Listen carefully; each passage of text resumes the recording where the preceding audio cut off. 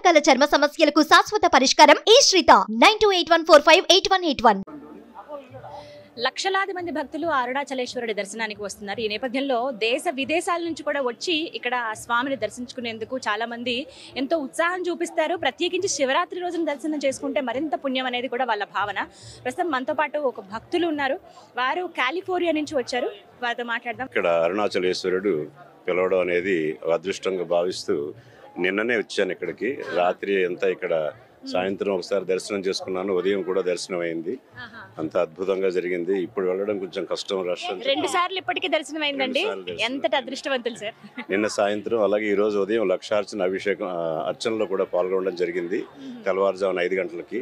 అదంతా కూడా శివయ్య అదృష్టంగానే భావిస్తున్నాం. ఎంత సమయం పట్టింది మీకు దర్శనానికి?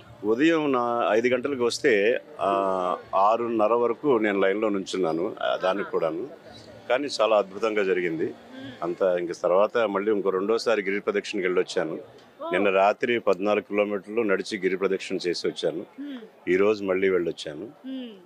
సో మళ్ళీ మళ్ళీ ఇక్కడికి రావడం అంత శివ సంకల్పం ఉంటేనే కానీ జరగదు కదా అనేటువంటి భావనతో రెండు సార్లు గిరి ప్రదక్షిణ రెండు స్వామివారి దర్శనం చేసుకోవడం జరిగింది. ఈ పర్టికులర్ లొకేషన్లో ఒక అద్భుతమైన విశేషం ఏంటంటే సృష్టి ఆవిర్భ ఆవిర్భవించినప్పుడు బ్రహ్మ విష్ణువుల మధ్యన జరిగిన వాగ్వాదంలో పరమశివుడు ఆవిర్భవించి ఒక లింగం అగ్నిలింగం రూపంలో వచ్చి వారి మధ్య ఉన్నటువంటి ఈ ఈగోయిస్టిక్ ఫీలింగ్ని పోగొట్టే విధంగా పరమశివుడు ఇక్కడ ప్రతిష్ఠింపబడి అంటే ఆయన వచ్చి ఆ అగ్నిలింగం లాగా ఉద్భవించి తర్వాత వారి సమస్యను పరిష్కరించిన తర్వాత వారి అహంకారాన్ని కొంచెం అప్పట్లో అహంతోటి బ్రహ్మ విష్ణులు ఉండేవారు. వారిని తగ్గించి అహంకారాన్ని తగ్గించి ఇక్కడ స్థిరపడ్డాడు అనేటువంటి ఒక పురాణం ఉంది. ఇవన్నీ చదువుతూ ఒకసారి ఇక్కడికి రావాలనిపించి కాలిఫోర్నియా నుంచి వచ్చాను. నెక్స్ట్ వీక్ బయలుదేరిపోతున్నాను మళ్ళీ. ప్రతి సంవత్సరం ఏదో ఒక ప్రాంతానికి వెళతానని అంటున్నారు కదా. శివయ్యతో మీకున్న అనుబంధం చెప్పండి. అంటే ఏవైనా కొన్ని కార్యాలు మనం అనుకోకుండా జరుగుతూ ఉంటాయి. ఎప్పుడైనా ఆయన నిదర్శనాలు చూపించడం కానీ ఆయన మీ కళలో కనిపించడం కానీ ఇలాంటివి ఏమైనా జరిగాయా? నేను రెగ్యులర్గా రుద్రాభిషేకం చేస్తూ ఉంటాను. నిత్యం నిత్య పూజ ఉంది. అలాగే ప్రతి శివరాత్రికి సహస్రలింగార్చన అనగా సహస్రలింగాలు మృతికా లింగాలు చేసి ప్రతి సంవత్సరం ఒకసారైనా సరే కార్తీక మాసంలో కానీ శివరాత్రి సమయంలో కానీ చేయడం కానీ చేయించడం కానీ కూడా చేస్తూ ఉంటాను. ఈసారి కూడా మొన్న కార్తీక మాసంలో కాలిఫోర్నియాలో ఇలాగ సహస్రలింగార్చన చేయించి ఆ తర్వాత కార్తీక మాసంలో శ్రీశైలం వచ్చాను. మళ్ళీ కాలిఫోర్నియా వెళ్ళి మళ్ళీ వచ్చాను ఇప్పుడు. సో దాన్ని బట్టి ఏమిటంటే శివయ్య ఎక్కడ కావాలంటే అక్కడికి ఆయన పిలుచుకుంటాడు. ఆయన అనుగ్రహం మనకి ఎప్పుడు ఉంటుంది? కేవలం నమ్మకం మీదనే అంతా ఉంటుంది అనేటువంటి అభిప్రాయం ఇప్పుడు చాలా మందిని చూస్తున్నామండి. అంటే ఎప్పుడు వస్తూనే ఉంటారు నిత్యం రద్దీగానే ఉంటుంది ఎప్పుడు ఆ శివయ్యని దర్శించుకుంటూనే ఉంటారు ఆ అరుణాచలేశ్వరుని. కానీ ఈసారి ఇంకా ఎక్కువ మంది భక్తులు ఉన్నట్టుగా అనిపిస్తుంది కదా? అవునండి. నేను ఇందాక ఒక గిరి ప్రదక్షిణ వెళ్ళి నేను కారు పార్క్ చేద్దామంటే నా తీసుకున్న హోటల్ దగ్గర కారు దొరక్క రెండు కిలోమీటర్ల దూరంలో కారు పార్క్ చేసి నడుచుకుని రూమ్కి వెళ్ళాను. ఇంత క్రౌడ్ నేను మార్నింగ్ చూడలేదు. మధ్యాహ్నం వేసరికి బాగా వచ్చారు. ఇంతమంది జనాలు ఇప్పుడు కూడా చూస్తున్నాను. ఇంక ఇప్పుడు దర్శనానికి చాలా సమయం పడుతుందని వింటున్నాను. ఎనిమిది గంటలు వెయిట్ టైం ఉందని విన్నాను.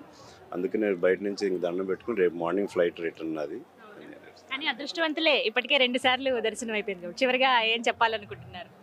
శివుని మీద శివుని అనుగ్రహం ఉంటే ఎప్పుడైనా ఆయన ఎక్కడికైనా పిలుచుకుని వస్తాడు.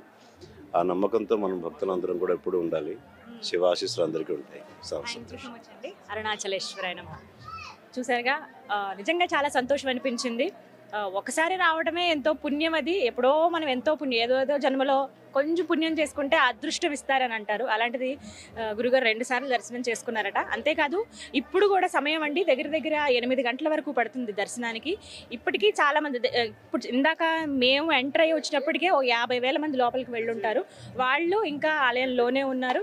నాకు తెలిసి దగ్గర దగ్గర ఆరేడు గంటలు పడుతుందంటే తెల్లవారుజామున అయిపోతుంది. రెండు మూడు అయినా కూడా ఆశ్చర్యం లేదు. కానీ లింగోద్భవ సమయానికి వాళ్ళు చక్కగా ఆలయం లోపలే ఉంటారనమాట అలా చూసుకుని వస్తున్న భక్తులు చాలా మంది ఉన్నారు. అలా దర్శనాలు అవుతూనే ఉన్నాయి. మరోవైపు ప్రదక్షిణలు కూడా ప్రారంభం అయిపోయాయి ఈ సమయానికి ప్రారంభించి అలాగే ఉదయానికి కంప్లీట్ చేసుకునే విధంగా అంటే అన్ని దేవాలయాలు కూడా ఇవాల్టి రోజున ప్రత్యేకంగా తెరిచే ఉంచుతారు. పద్నాలుగు కిలోమీటర్లు ఏదైతే మొత్తం గిరివలయం ఉంటుందో ఈ చుట్టూరు కూడా ఆలయాలు చిన్న పెద్ద ఆలయాలు చాలా వరకు మనకు కనిపిస్తాయి. ముఖ్యమైనవి కొన్ని ఉంటాయి. లింగాలు ఎనిమిది లింగాలు ఉంటాయి. అవన్నీ దర్శనం చేసుకోవడానికి కొంత మామూలు రోజుల్లో అయితే మూసివేస్తారండి. తొమ్మిది గంటల తర్వాత ఆలయం మూసివేస్తారు. మళ్ళీ ఉదయం ఆరు గంటలకు తెరుస్తారు. కానీ ఇవాళ రోజున మాత్రం మొత్తం ఇరవై నాలుగు గంటలు కూడా తెరిచే ఉంటాయి ఆలయాలు. చక్కగా దర్శనం చేసుకుంటూ ఒక్కొక్క లింగాన్ని దర్శనం చేసుకుంటూ నెమ్మదిగా అలాగా గిరివలయం అంటే గిరి ప్రదక్షిణ పూర్తి చేసుకుని అయ్యగారి దర్శనం అంటే ఆ స్వామి దర్శనం చేసుకుని క్షేమంగా వాళ్ళ ఇళ్ళకి వెళ్ళడానికి అందరూ సిద్ధమయ్యారనమాట గిరి ప్రదక్షిణ ఎప్పుడెప్పుడు చేద్దామని మాకు కుతూహలంగా ఉంది. ఇంకా మరి కాసేపట్లో గిరి ప్రదక్షిణ కూడా ప్రారంభిద్దాం.